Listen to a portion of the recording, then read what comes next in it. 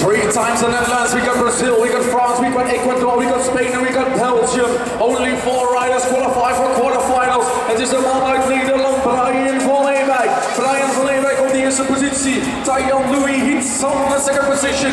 And a rider out of Spain is looking well. Pablo Garcia Marcos, who's taking the fourth spot. that's going to Brazil. Brazil on the fourth position.